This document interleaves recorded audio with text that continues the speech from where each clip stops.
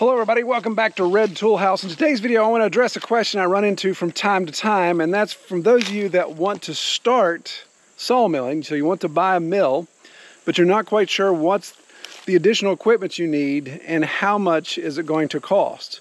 So that's what I want to address in this video. What's the minimum equipment you need to complement your sawmill so you can have a safe and efficient milling process. So follow along with me. So if you're considering buying a mill, of course, the first thing you look at is the overall price of the mill itself. And you know, these things range from all over the place. So used on the market, maybe two, three thousand dollars. You get into new four, five, six, seven, fifty, seventy thousand dollars. These band mills can get very expensive very quickly. But if you're just taking that cost into consideration, then I, I don't think you're really putting your budget together well because there's other things you need to be able to operate this in a safe and efficient manner. So I want to list the tools that I think, and I, I want to stress I think, that you need, the minimum tools you need to operate your mill. And also want to break out costs so you can get an idea exactly what those peripherals are going to cost. So to do this video fairly, I think we have to make certain assumptions because we could obviously get too broad or get too deep in the weeds.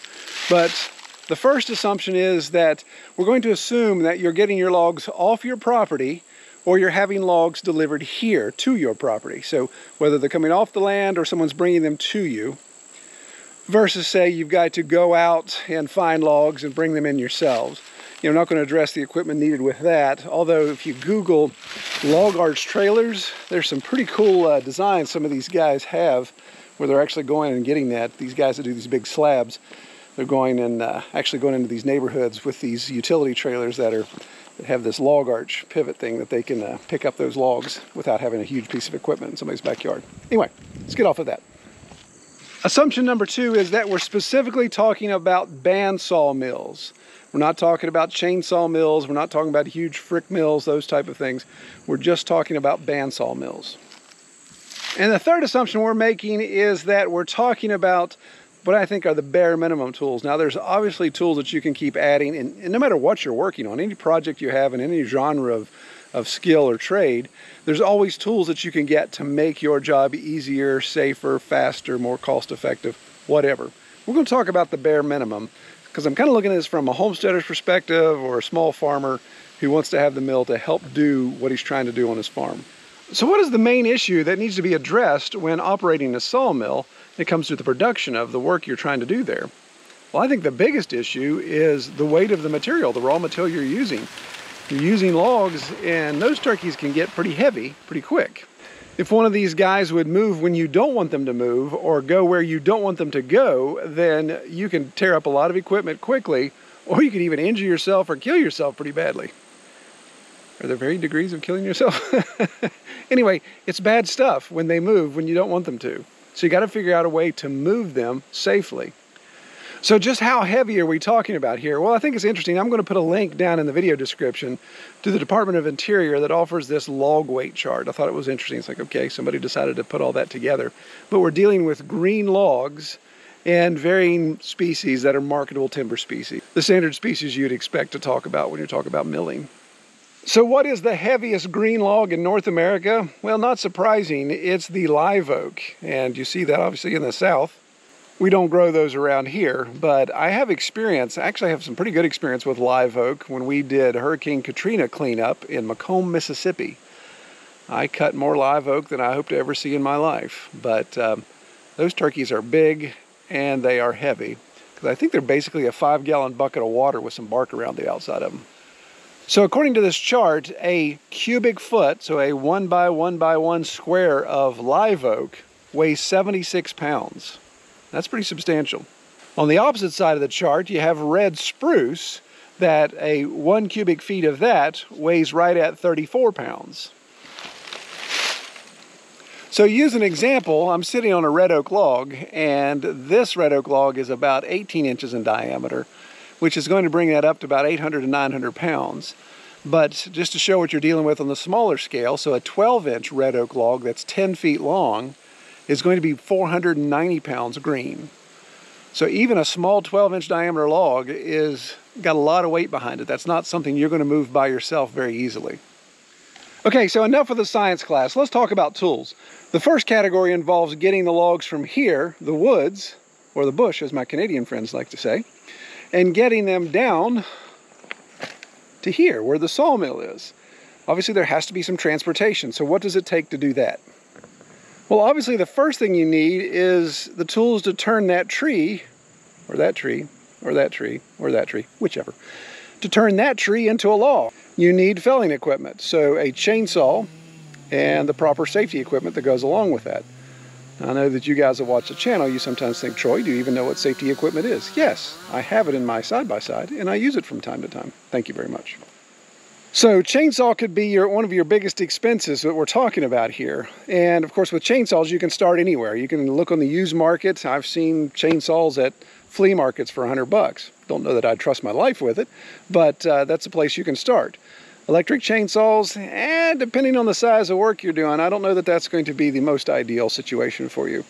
To me, uh, when it comes to chainsaws, if it's in your budget, get the biggest and best you can. Now, obviously, you don't want to buy a V-twin that it takes two people to move, but I recommend going with a good size chainsaw that can do felling, that can do firewood, that can do all those things that you want to do.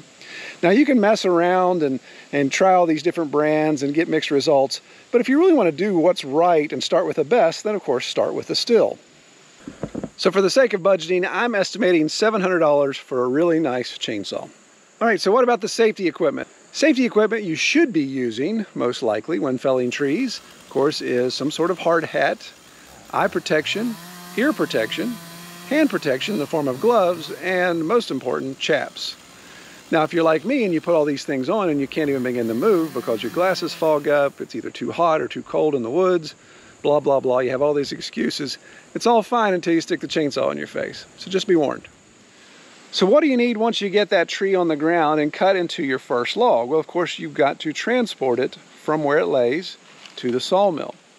And that's going to require some basic tools like chains, uh, tow straps, winches and cables, whatever you think fits the best. And of course, a piece of equipment to actually move that out of the woods and down to the mill. So here's what I like to have. I like to have obviously some chains, some cables, snatch blocks, pulleys, those type of things. Not as critical to have all that extra, but a chain, tow strap maybe, and some cables will be very helpful. Also a cant hook or a peavey so that you can move the log around a little bit to get your chain underneath it well and get your strap tied off whatever you're going to be using there. And then of course the actual piece of equipment to move it out. Now we use the tractor primarily to drag things out. So if we factor that in, obviously that's a very big expense. If you have a tractor already, you're in good shape. I think the, um, you know, you've got other options like uh, four-wheelers, side-by-sides, pickup truck.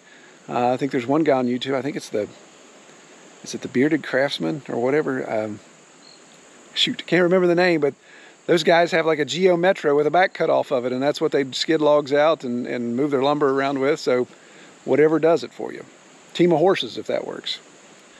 So let's list those things that you need there. So let's say you know, a couple logging chains or straps, you know, maybe 50, 50 bucks around that range. A good cant hook or peavey is going to be around $100 new. You can obviously buy that used. Check those out at old antique stores and stuff. Maybe get a better deal on that. And of course your piece of equipment. So I'm going to say for the sake of this discussion, let's say you get a used, decent sized four-wheeler. So a little 4x4 ATV that you found used for $2,000. Great deal. Now, as I mentioned, there's obviously an opportunity to upgrade all of these things, but and we're not going to get into that. But the one thing I think is important to look at, and, and this is what you guys comment a lot and what I discuss on our channel, is that when I skid logs out, uh, dragging them on the ground, of course, that gets them very dirty. So then when they get to the mill, they have to be cleaned or I have to worry about going through blades a lot faster. So uh, you could upgrade and then get log arches with the, the dolly wheels in the back. You could obviously get a nice skidder, all those type of things. A skidding cone, so at least the nose isn't getting pushed in, uh, the dirt. So there's all kinds of things you can look at, but those are upgrades we're not going to address. Now you may be saying, well, I can dodge some cost, Troy, instead of bringing the logs to the mill. What if I brought the mill to the logs and then I don't have to have a piece of equipment to skid? Well, that could be an option, but keep in mind that with your mill, you then have to have a portable element to your mill. So like for my mill, putting the trailer package on it was another $1,000 or more, I believe. And then I still have to have a piece of equipment to move it from point A to point B. It's not like I'm just gonna pull it behind by hand. And depending on what your land's like, you may not be able to hook that up to your daily driver and just move it from point A to point B. So in my situation, I'd still need either a tractor or a four-wheeler to move it to the logs. And you're still going to need the chainsaw. You're still going to need some of those things uh, to get the logs ready anyway. So the next category of tools deals with the scenario where you've got the logs here at the mill and now you've got to get the logs on the mill. So that takes some equipment as well. So this task really depends on the, the height of your mill. So in this situation where I have the trailer package on my mill, of course it makes it much higher.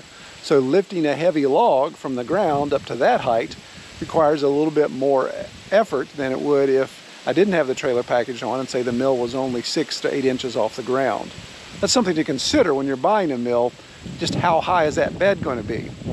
Lower the bed, the more I would be bending over to operate it. The higher it is, the more comfortable it is, but the higher I have to lift the log.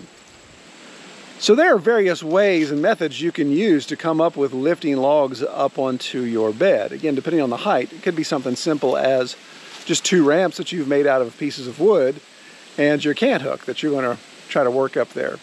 Just keep in mind, if it's something that simple, there's a chance that that log's going to roll back instead of rolling forward, and then you have to dance with that as it comes towards you. Another simple step up would maybe be ramps and a winch. So instead of just working your cant hook, maybe you've got somebody on the winch as well. So as you cant hook it, the winch kind of keeps it in place, some way to stabilize it there, or you let the winch do all the work as you're pulling it up. If you have a tractor that doesn't necessarily have a front loader, then uh, one of the three-point hitch attachments could be a pig pole or a shortened pig pole that would allow you to lift your logs up, you know, one side at a time maybe, and get those put into place there. Of course, a tractor with a bucket makes things easier. That's what we do, but we still have a little bit of issues lifting the heavier logs up because it exceeds the weight of my bucket sometimes. Obviously, a big excavator with a thumb could easily pick that up and set it in place depending on the size of that where I've seen some guys actually build a shelter over their sawmill and they use a chain hoist with a heavy beam to be able to lift the log up, slide it over on the rail system and lower it back down. So for the sake of safety and ease and cost effectiveness, I would recommend the bare minimum for getting logs up onto the bed would be a ramp system with a winch for safety. Again, if it's low and you can't hook up, that's fine, but I think you need that tie off for safety to keep it from rolling back. Again, a 490 pound log rolling back and hitting you just above the ankle, you're done for about six to eight weeks. Now you can obviously engineer something if you have that experience, if you have that ability, you've got a friend that's got a welder, whatever the case may be, you can come up with your own ramps and come up with your own winch system. Uh, if you don't want to do that, most of these sawmills that you're buying have loading systems. I know the Norwood system involves metal ramps with some tabs that help keep the log from rolling back. Has an anchored winch on the side of the frame and you run the cable out around the log and bring it actually back and hook it onto the chassis of the, the bed. That way when you're cranking, as that cable tightens, it's turning the log and rolling it up into place. Now that system purchased and shipped out the door is about a grand, so that's a pretty big expense. But I'm going to put that into our cost list just so we can see how this all breaks out. So now that you've found ways to get the log on the mill, is that all you need with equipment and supplies? Well, not really. Actually, you need saw blades, of course, because one saw blade isn't going to cut it. Eh, well, cut it for a little bit. But that's going to get dull and you're going to need to replace it or you're going to need to sharpen it. I recommend more than one blade because sometimes blades can get damaged when some dummy drives them into the log rests or they just break because of wear and tear. The way I buy my blades in a set of five, a set of 10, usually around 25 bucks a piece plus shipping. Now, when those blades get dull, you don't want to just throw them away, of course, and, and buy a new one. You've got to find a way to get those sharpened. If you've got a local sharpening service, that would be great. Maybe that's a way that you get started without having to have the expense or the skills of sharpening your own. If you use the mail order sharpening services, just watch. It really adds to the expense because of the shipping to and back. And then sometimes, in my experience, you don't get all your blades back because they're like, oh, that one's too damaged to sharpen, so we threw it away. So that adds to a lot of cost. What I recommend, if you don't have a local sharpener, is look at learning that skill as quickly as possible. Uh, you can obviously buy the big jigs. Norwood has, they, they, sent me one that's a sharpening jig. It works great. Uh, it's about $800. Uh, and it's, it's paying for itself over time because I can just keep sharpening and sharpening and sharpening. But I think you could also do a pretty good job sharpening just a little bit more handwork, just using tools and just taking the time uh, to learn that skill and kind of get consistent in how you sharpen each tooth. Other basic supplies you need, of course, are gasoline. Now, for my mill with this uh, 14 horse uh, engine I believe it has on it, it hardly uses any gas, so it's, it's really nominal. I have a five gallon can of gas that, that lasts me for months. So not a huge expense there. Uh, another thing to consider though is water. And here in West Virginia, we take water for granted because it falls out of the sky constantly. So I can obviously go to the creek and fill up the water for the, the coolant system. But some of you guys don't necessarily have easy access to water and it doesn't come uh, readily available as it does here. So just factor that in. If you're out rural somewhere in the bush and you're milling, then just make sure you're bringing your own water in or you found a source for water there. So if you've made it to this point, you should be stacking high stacks of lumber, air drying out for future projects, building projects or woodworking projects, whatever you've decided to get the mill for, you should be well on your way to go there. Now, when we talk about wood storage and, and wood drying, wow, we could go 25,000 different directions.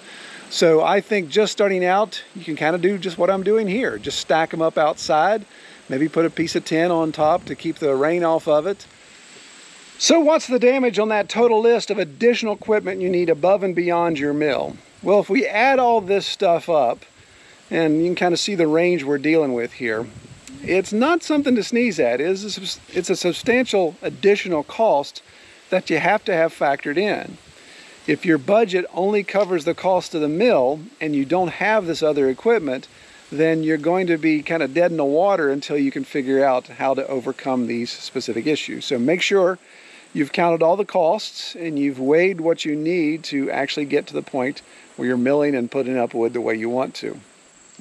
So let me know what you think. Let me know if I've left something out. Comment below if I've forgotten a piece of equipment, something you feel is very important that you would put on the list of the bare minimum you need to run a milling operation, or maybe something you disagree with. Let's comment below and get a dialogue going. All right, well, appreciate everybody watching. Take care.